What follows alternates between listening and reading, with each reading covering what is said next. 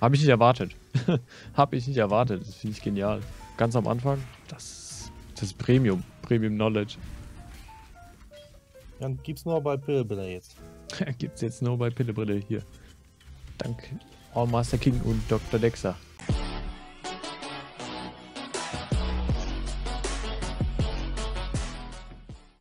Ah, absurd. Okay, so, erster. Watchstone. Ja. Jetzt schauen wir mal, hast du mehr uncompleted Ajoris Maps oder nicht? Mm, wir haben uncompleted haben wir keine Ajoris. Okay, Nur die Also- completed. wir, wir machen jetzt aus Zeitgründen das bisschen etwas anders. Normalerweise würde ich jetzt alle Alleyways laufen, um halt äh, Eine andere äh, Ajoris zu das, bekommen. das, Gebiet, das Gebiet noch mehr auszubauen. Mhm. Wir machen es aber ein bisschen anders. Wir machen den Shortcut und wir machen jetzt den Watchstone, den du bekommen hast, direkt in Ajoris rein. Mhm. Was passiert, ist, dass äh, dort keine äh, Low-Tier-Maps mehr droppen können. Also das Mhm. ist der erste Block. Okay. Und jetzt Ja. laufen wir Hamlet mit Investitionen. Und jetzt laufen wir Atoll mit Invest. Mehr haben wir nicht. Ja, so, so, so viel es geht. Map Device? Ich würde ich würd da bis nehmen. All Weil in. das ist äh, sehr wichtig, dass wir jetzt eine Map ge- gedroppt bekommen. Mhm. Sonst, sonst äh, wenn wir stecken bleiben, und das ist halt äh, äh, Zeitverlust. Ja. Wenn man stecken bleibt. Deshalb investiert man, damit man äh, verhindert, dass man stecken bleibt. Ja, nice. Gleich in die nächste Influence Map rein. Aber jetzt wollen wir noch einen Hamlet Drop, nehme ich an. Unbedingt. Du hast eine Alleyways Map und die ist in äh, Joris. Mhm. Und in den Joris hast du, hast du eine äh, einen Watchstone drin. Mhm. Das bedeutet, dass die Version von der Tier 5 Alleyways existiert nicht. Und weil sie nicht existiert, Drop können dann. keine Ajoris Maps droppen. Ah. Also die einzige Map, die droppen können, ist dann jetzt Atoll. Jetzt Ja. würde ich jetzt äh, Alleyways mit äh, viel Investment laufen. Ja, ja, ja. Viel Juice. Und das ist der Shift. Die einzige Tier 5 Map, die droppen kann, ist halt auf Hamlet.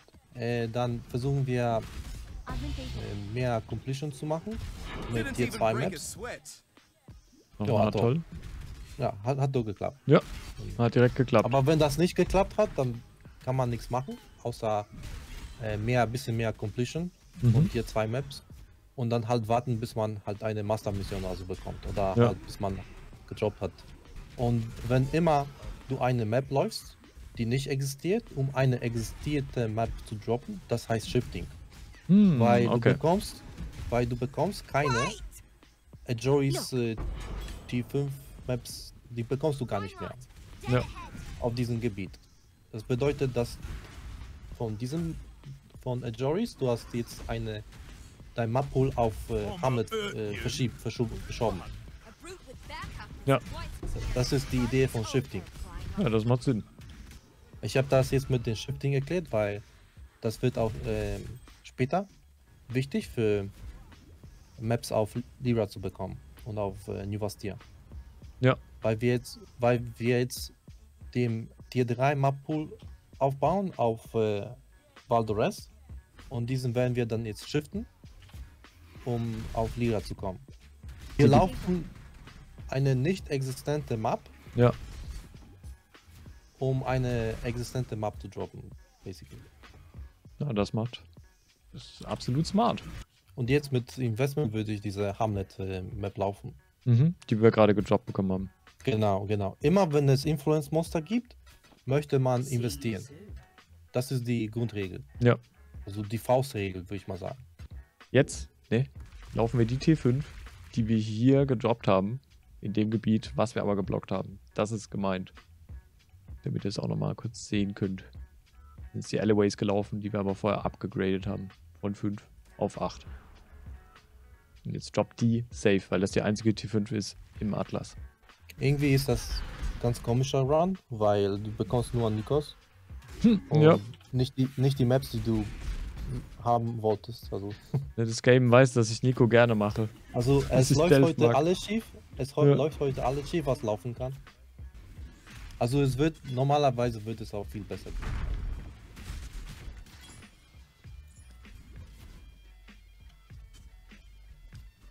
Das jetzt Sana bekommen, zum Mhm. Glück. Oh ja. Machen wir. Metamorph, ja. Ja, Metamorph. Also Metamorph mechanisch ist nichts anderes als ein Additional Boss, Mhm. der halt plus 2 droppen kann. Also Ja. und halt a- größere Ch Chance für Map-Drops hat. Also der Boss hat ja halt größere Chancen auf Map-Drops. Manchmal gibt es ja sogar Maps würd- als Items. Ja, genau. Genau. Ich würde ihn ganz einfach machen. So, jetzt haben, Haben wir. wir eine Hamlet oder nicht? Mhm, wir haben keine Hamlet mehr.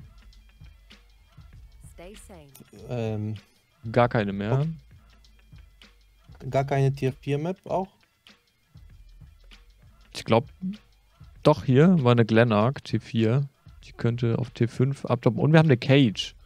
Ein Incomplete Glenark. Okay, ich würde die Cage laufen, Ja. weil die Cage existiert nicht auf den Atlas. Mhm. Und die mit Juice? Ja, genau. Also die Anu Glenach hat nur eine Tier 4 Map.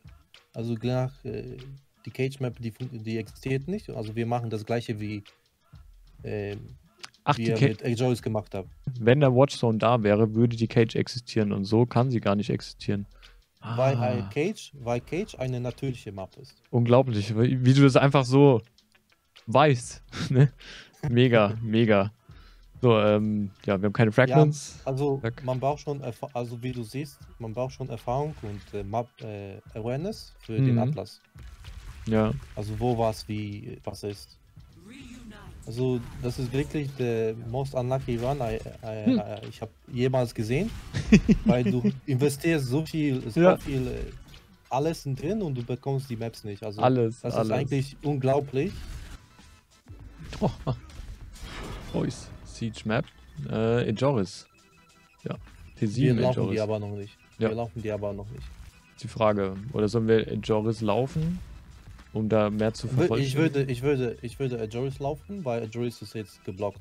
Mhm. Und der, das Ziel ist jetzt das Min-Maxing des Map-Pools auf Hamlet. Ja, ja, ja. Wenn Okay. wir jetzt in New Bastia laufen, dann haben wir jetzt das haben wir äh, eine Map freigeschaltet bei New Bastia. Moin Talo und mo- moin Moshi. wir noch nicht. Ah, hast du du hast doch jetzt Sana bekommen. Ja, bin ich gerade drin. Ja, genau. Also das bedeutet, dass sie auch äh, resettet hat. und Ja. kann man äh, den Shops äh, ansehen. Excavation ist eigentlich eine gute Map mit dem Double Boss und äh, gute Mob Density eigentlich. Also Man nutzen kann. Ich wusste zum Beispiel auch nicht, dass der Daily Reset. Ruins. Nice. Das ist Hamlet. Das ist perfekt. Ja, dann laufen wir die gleich. Invest, ne? Auch in Castle Ruins, weil wir wollen ja noch eine Hamlet. Ja, mindestens. weil jetzt, jetzt hast du Influence Mobs, Mhm. Monsters und genau das gleiche Prinzip. Wenn immer du Influence Monsters hast, hast dann möchte man investieren. Sana schauen, weil du hast Ja. gerade Sana äh, reset. Oh, Hamlet. Vierer. Die kaufen. Dann haben wir Ja, die nächste genau. Safe. Hamlet. Ja, genau. Li Lira sogar. Lira kaufen. Okay. Und die Ejoris auch noch? Auch, auch. Also jetzt Oh, pleite. kaufst du alle, alle Corner Maps. Mhm. Okay, wir sind aber pleite jetzt erstmal. Dann Bräuchten warten wir- wir erstmal. Bräuchten wir Wir warten erstmal, bis wir vier Chance Orbs gedroppt haben, damit Mhm. wir die andere Map. Also wir, wir machen das ohne Conversion. Äh, Welche würdest du zuerst machen jetzt? Die Vierer Hamlet oder Fünfer? Oder ist egal? Äh, Die Fünfer, weil du hast schon ähm, Tschüss. Yellow 'em auf den Atlas. Ja. maps. Stimmt, Also- stimmt. Da kann er plus one, plus two droppen. Ja, genau. Also Perfekt. 6er, 7. Guck mal, die nächste Nico-Mission, ne? Fünf. Also wir haben jetzt eine Map von Sana auf Lira bekommen. Ähm, aber das war zufällig. Augmentation. Ja.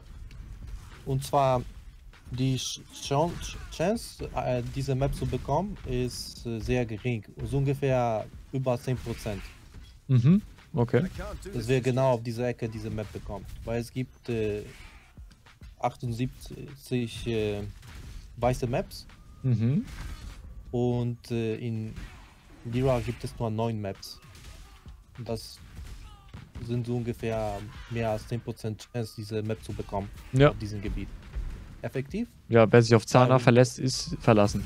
Weil, Also- ja genau, weil, die Chance, diese Map zu bekommen, wo man möchte, ist halt in, ungefähr bei 10%, 10, Ja. 15%. Okay.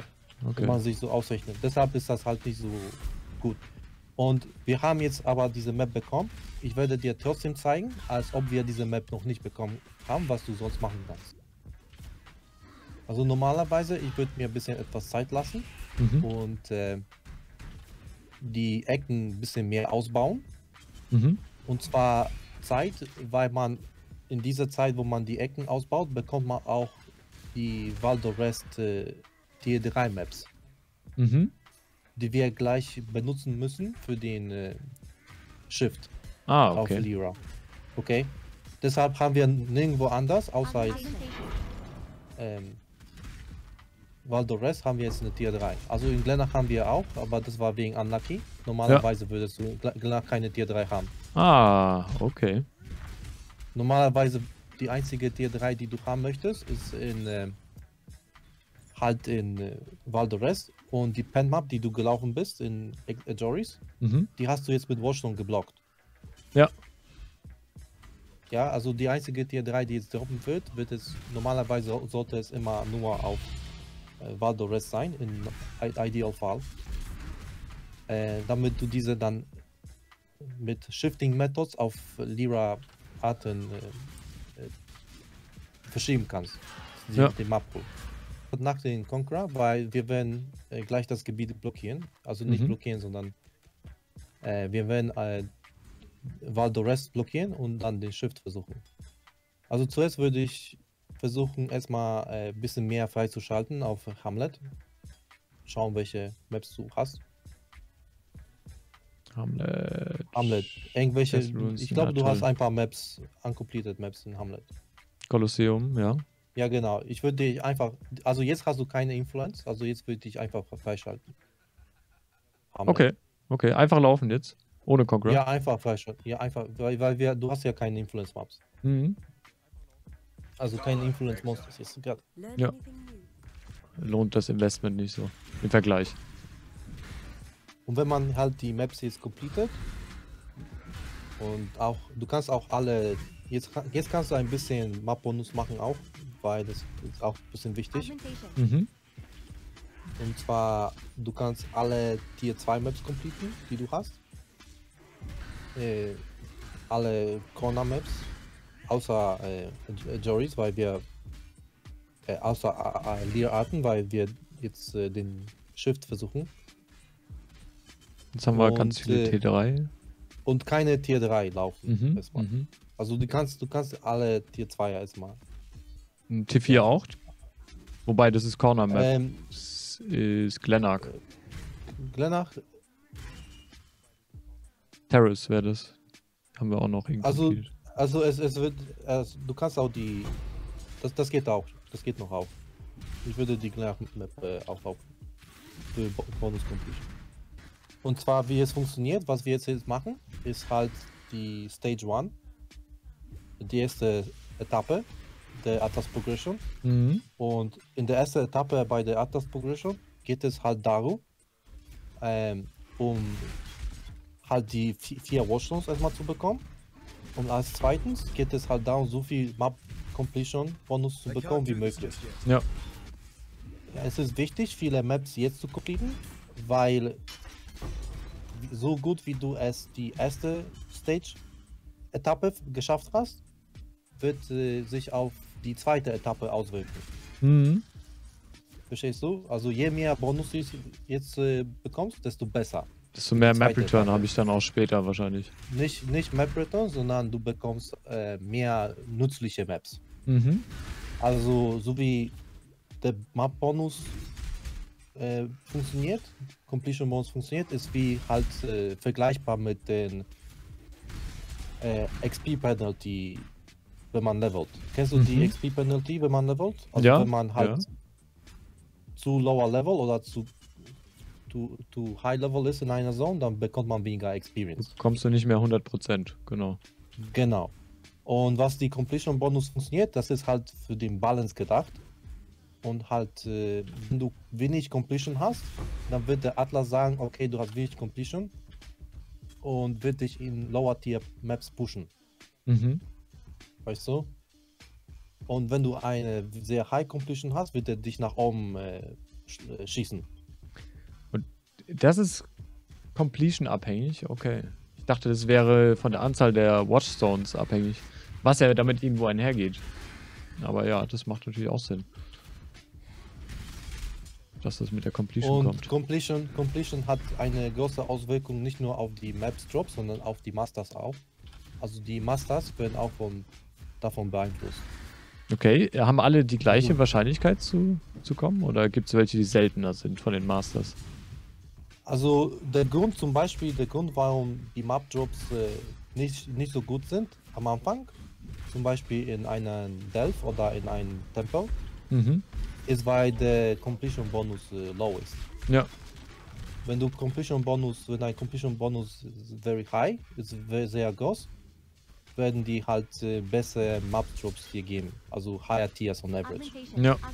Im Durchschnitt. Genau, ich, wir sind jetzt in ähm, Havoc. Damit wir jetzt nicht Ja, noch genau. einen Influence spawnen können. Sondern einfach nur Completion haben. Bonus Completion. Bisschen, bisschen Bonus machen, ja, genau. Ein bisschen sich Zeit lassen und mehr Maps auf, äh, die drei Maps auf äh, hier, Valdorest zu droppen. Weil wir Ja. werden halt die ganzen Mud Geysers, eigentlich auch Messers, aber Messer hast du gerade nicht auf den Atlas. Mhm. Äh, wir möchten halt diese ganzen Mud Geysers dann laufen, um Ja. halt auf Lear Arten zu kommen mit Shift Strategie. Ja, okay. Ich, also eine oder zwei, wir müssen jetzt gucken, wie viele Mud Geysers du hast. Ja, eine. Ja, eine. Also wir müssen ein bisschen mehr äh, Zeit lassen. Hier ist noch eine. Zwei. Zwei hast du. Okay, Obacht, okay. Obacht. Wollen wir den Shift versuchen? Können wir machen. noch nicht im Hafen. Okay, also jetzt wegen Stift, wir investieren. Und Wir Mhm. möchten, also mach mal jetzt mal den Atlas auf. Können wir jetzt ein bisschen, bisschen mehr zeigen. Mhm. Also ze zeig mal Markt Kaiser. Du scroll in Markt Kaiser. Matt Geise ist hier. Genau. Und zwar, äh, wenn man sieht, Matt Geiser ist äh, adjacent mit Lyra Arten, auch mit ähm, hier den Lex Mesa. Proxima Maps. Ah ja, genau. Ja, genau. Core Runes, Lex Genau. Proxima. So, ei- eigentlich, eigentlich, was wir jetzt versuchen können, ist Messer zu droppen. Einfach so Messer zu droppen. Also Valdores ein bisschen mehr zu Mhm. developen, weil eigentlich Matt Geiser ist nicht so gut dafür, weil es gibt äh, eine, zwei, also, äh, eine, also es gibt eine gewisse Wahrscheinlichkeit jetzt äh, Lex Proxima äh, Maps Mhm. zu bekommen. Als, ähm, ja, ja, weil das gibt, es gibt zwei gegen eine Adjacent Map. Ja, die weil Map, ja. Hier haben wir eben, ne, was Ja, du meinst, deshalb, so Mesa 2 Wenn, wenn, diese Maps, wenn diese Maps completed sind in äh, Lex Proxima, dann wird es auch schon gehen. Mhm. aber Bad Geyser ist halt nicht die, die beste Map. Nichtsdestotrotz, wir können das jetzt ähm, nach, nach dieser zweiten Bad Geyser Maps, wenn wir jetzt unlucky sind, wir können das jetzt versuchen. Also erstmal, erstmal laufen wir Mad Geyser mit diesem Investment, damit wir jetzt Messer bekommen. Weil Mad Geyser ist nicht so, eigentlich nicht so gut positioniert da für den Shift. Also wie du siehst, ist halt viel äh, mit Atlas lesen zu tun Mhm. welche Situation du gerade auf den Atlas hast. Wie ist Dieser das? Run wird etwas länger dauern, weil er ganz am Anfang so unlucky war. Das ist der direkte Result von äh, Ja, Bad RNG. muss man sagen, geballte Power. Das ist unsere BOE-Community. Ihr Geilen. Bis morgen.